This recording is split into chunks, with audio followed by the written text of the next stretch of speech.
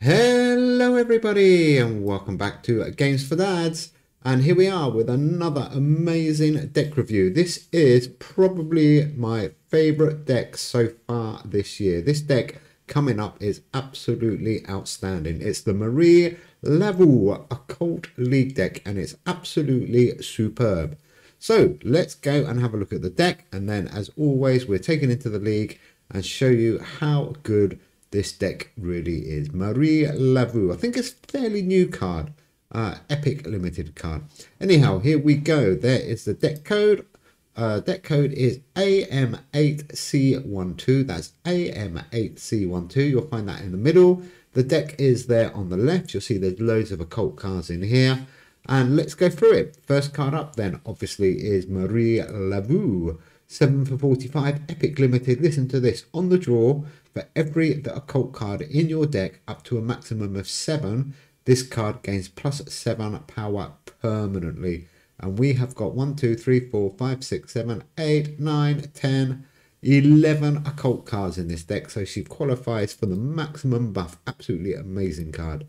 And then I've gone with another cool occult card. One of my favourites. Like to hold this card, Ouroboros used to play this card all the time, but he's back, back for good, hopefully. 5 for 65, Epic Limited. On the start, this card gains plus 15 until played. So like I said, I'm just going to hold him and hold him and hold him and maybe hold him a little bit longer.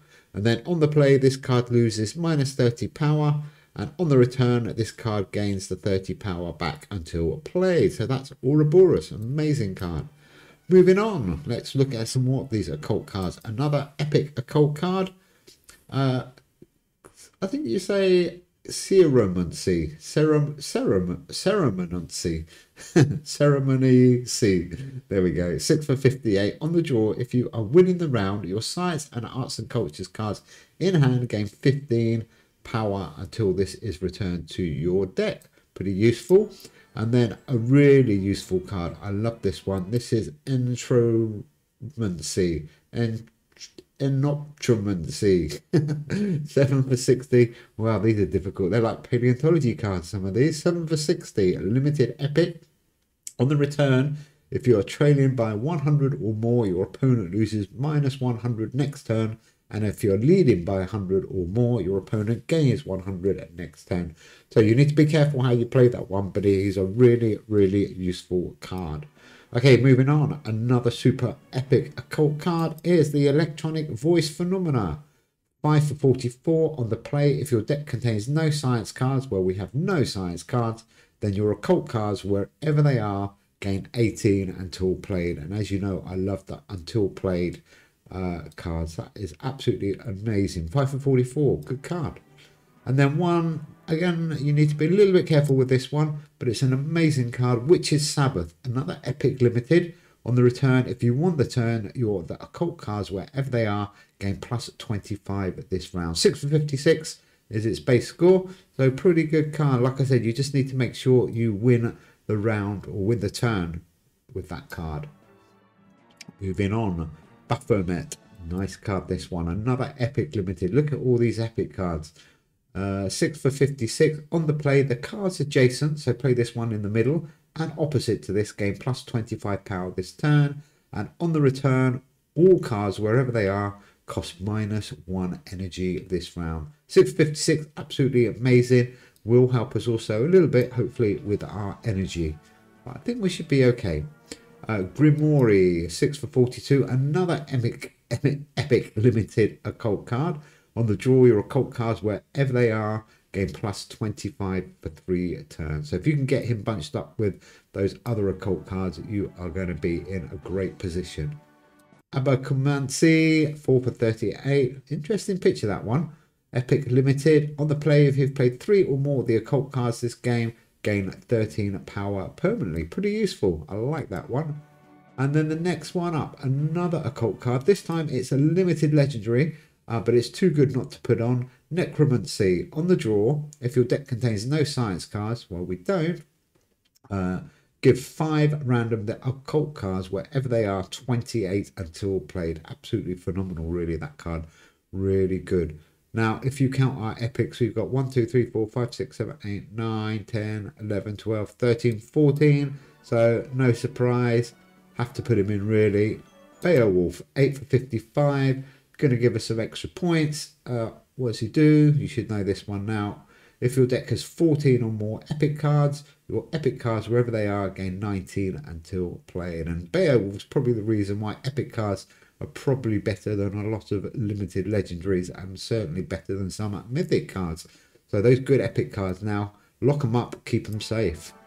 Okay, moving on. Let's have a look at some of our history cards. We've got Ectoplasm, 4 for 41, another epic limited card. On the play, if your deck has exactly three hoaxes and con card, cons cards, which we do, you're the occult cards, wherever they are, gain 17 until played. Well, Ectoplasm counts as one, and the next two are, or the next one, I should say, is the Fox Sisters, 3 for 33, a limited legendary. Uh, on the play, if you've played two or more hoaxes and con cards this game, you're the occult card, wherever they are, gain 23 until play. Fits in so nicely into this deck. I did have to put in Magna Carta because the energy is a little bit of a concern. On a high energy week, you can easily swap this out and put something a little bit better in, but it does the job this week. 2 for 15, Magna Carta, your epic and rare. And like I said, I've got 14 epic cards and no rare cards, 14 epics. Uh, wherever they are, cost minus two until play. They're absolutely amazing, and that's on the draw, which is pretty good. On the play, if you've got the Declaration of Independence or the Universal Declaration of Human Rights, those cards gain at 20 this time. I don't have either of those. Purely put Magna Carta in for the energy, and like I said, maybe next week when you've got 25 starting energy, I think, then you can swap him out easily for something a little bit better. Another card that you can swap out. I've put it in this week because it's an Epic Limited. Uh, 6 for 50. On the draw, your opponent's legendary cards, wherever they are, lose minus 25 for 3 turns. Quite useful. Bit hit or miss that one, really. You don't know how many legendary cards your opponent's going to get. So again, you can quite easily swap that one out. Don't put a science card in, but you can pretty much put in any other epic card instead of the Siege of Baghdad. And then I've also gone with Identity Theft because I like it. 8 for 68, Epic Limited. On the play for every legendary card in your opponent's deck up to a maximum of 10, your cards in hand gain plus 4 until play. That is Identity Theft. Great card, really. And then back to the arts and cultures. I've squeezed in another occult card. I left him out, but then I put him back in again at Epic Limited, 6 for 58. He's only going to get all the occult buffs because he doesn't really do much. On the play, your Signs of the Zodiac cards in hand game plus 20 until played. Haven't got any of them. And on the draw, your Signs of the Zodiac cards in hand cost minus 2 until played. Like I said, he's only in there as an epic occult card and he will buff up nicely. You should get about 150 to 180 points on the Zodiac man. And then the last one, another epic. And again, you can swap this for any other epic. But I like this one because it does buff up your occult cards. Henry Fusel. He is a prominent painter, 6 for 66. No idea what he painted. Uh, but on the draw, your occult and the mythical creature cards, wherever they are, gain plus 17 power this round. So pretty useful. Uh, like I said, he's a bit of a throwaway card, but you've got added benefit there. He is going to buff up your occult cards a little bit during the round. So there we go. This is my amazing Marie Laveau deck. Like I said, there's a few in there that you can swap around different ways of doing it. Uh, let's just go online. I was offline while I was doing that. Okay, we are. Uh, that's the wrong deck. Let's find the right deck. There we go. We are four shields. Let's see if we can get that up to five shields. Oh, that was quick. We are playing SVY SVA Q82. Let's just call you Civi. okay, so ooh, oceans and sea. Interesting. Okay, so let's have a look. What should we do? Identity. Ouroboros is out nice and early. We can just hold that now for the whole game. Hopefully we can get him up to a massive score. Oh, this could be good riding the waves deck. I've seen a lot of riding the waves deck lately. They are starting to get really good. I need to revisit that, I think. So 39, Sizzy. We are leading. So there's Magna Carta. That's going to help. The Witch's Sabbath. We haven't got many scoring cards at the moment. Let's see what we can do. Um, let's put that there, which is we haven't played three or more occults yet, have we? No, let's do Magna Carta. One, four, five. Oh, we're still in touching distance. I thought we were going to be a long way behind. Flying Cloud's going to get that 100 buff. That's a great card, Flying Cloud. Don't use it anymore. I used to use it all the time. Okay, we are one in the lead. And there is Marie Laveau. Let's get her around as quickly as we can. And Henry, Probably a waste of Henry, but I want to keep those other two cards. Because Henry, you get the occult buff for this round. So he's just a useless card there. 225. Oh, there's that junk card. what a pile of junk. No, not really. Good deck there, CZ. I like it. Okay, we are 1-0 up. That's a good start. This deck will get stronger and stronger. But so do Riding the Waves. This is going to be an interesting battle, actually. Okay, so Beowulf's giving us that buff. There's the Fox Sisters coming round. Um, those two cards on the end, I'm going to hold a little bit. And Entropy, or whatever it is. The Mirror and Ouroboros. I want to hold them. Oh, now we can probably play it. When we're 100 behind. That's a good hit. Well played, Sizzy. Sizzy. Saizi Saki 82. Okay, now I think could be a good time to play at the mirror. What do you think? Uh, put that one in the middle. Whoops, he's moved. Put him back. Uh, let's hold the mirror until the next turn.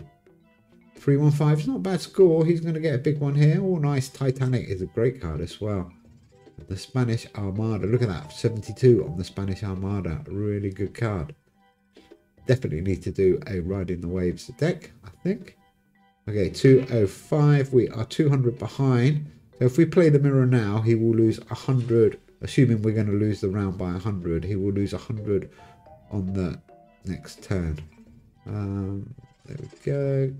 And siege down there as well. 344. That's good. Nice score. 504. Really good score. But for us, that's okay. We wanted to lose by at least 100 there, and then we get the benefit of the mirror. See that there? He's now on minus 100, or well, minus 90. He got a little buff himself uh, for the start of round three. And our cards now should start to get quite powerful. Look at that. Ouroboros is buffing up really nicely. So probably and Zodiac Man. There we go. That Zodiac Man is quite useful card. 3, 2, 2 and the buff from identity. That's great. We get the win with Witch's Sabbath. That's important because that buffs up our occult cards. Really good. 180 in the lead. There we go. 25 buff from the Witch's Sabbath on 11 cards if you win. Absolutely amazing, really. And there she is. The young lady. The beautiful young lady. Come on. She is really powerful. Look at that. Uh, 2 for 132 and 4 for 180. 603 is not a bad score at all. Great score there, though, Sizey. He's keeping up. He is doing really well. Really nice deck. Okay, we are 349 in the lead. Let's get this round finished. And then we should be okay. So Henry is back again already. Beowulf a nice buff probably want to get Magna Carta around just in case. We've got 25 energy, but just in case, let's get him circulated around. 196 should be enough. What's he got? He needs a big score. He needs over 500. I'm not sure. Oh, he's changing his cards. We've ended the turn. Not much we can do here. Let's see what he's got. Is he going for a big score? He needs 540, I think. Five, four, four. Ooh, this is going to be close. 523. Oh, unlucky Sizey. That was close. That was very close. 22. Ooh, at least we got Magna Carta around anyhow. Okay, so 2 1 up. The power of the Marie Laveau Occult League deck. Don't forget that deck code AM8C12 if you do want to copy this deck. It is an amazing deck. So let's just get these three occult cards round. Don't forget on round four, the first two cards you play are really important because they will come back right at the very end if you get to round five. Four, nine, nine. This is close. Look at Ouroboros though, sitting there quietly in the corner. He could be the game-winning card, that one. 27 in the lead. He's buffing up nicely. Oh, do we throw this round and use the mirror? Let's just go for it, see what we get. 303. Yeah, that's good. So the mirror is going to be double useful in this game. We can now play the mirror because we will be at least 100 behind at the end of this turn. And that will give us a really good position. Uh, Witch's Sabbath. Ooh, probably not the best three cards. I'm guessing Identity Theft, Mirror, and Siege of Baghdad. 357. Come on, make sure you beat us by 100. Come on. Yeah, no problem. Wow, great score. Look at that. What's that? The Golden Hind? Wow, that's amazing score. Red Sky and Mornings. Uh, that's a good card. Didn't know that one. Nice card. Okay, that is what we wanted to do. Lose that by 100. So he's now on minus, only minus 80 actually. He's got a bit of a buff, isn't he, each round. So he's on minus 80. Still a good start. And Marie is back. And Ouroboros, look at Ouroboros. So let's try and win. Ooh, ooh, ooh. Let's go big. Let's go big. Eight, eight, eight. Lucky eights. Oh, that's all I could do. We were running low on energy, so we had to go for it. But that's an amazing score.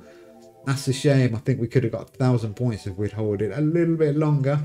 But I couldn't take the risk. I wanted to win. I could have played Witch's Sabbath, I guess. But never mind. We've got a 697 lead. I can't see him coming back from that. And there we go. That Magna Carta. So pleased that we circulated that. We can now afford to play three cards. They're all on four, four, and four. And it's still 588. Oh, what a score. 868. Nicely done. This is close. We're still 400 in lead. 417. Really good. The Riding the Waves deck are looking really nice these days. Okay, we are okay. We should be able to play three cards again. Yeah, there we go. 444 again. Put him in the middle. May as well. Uh, 440.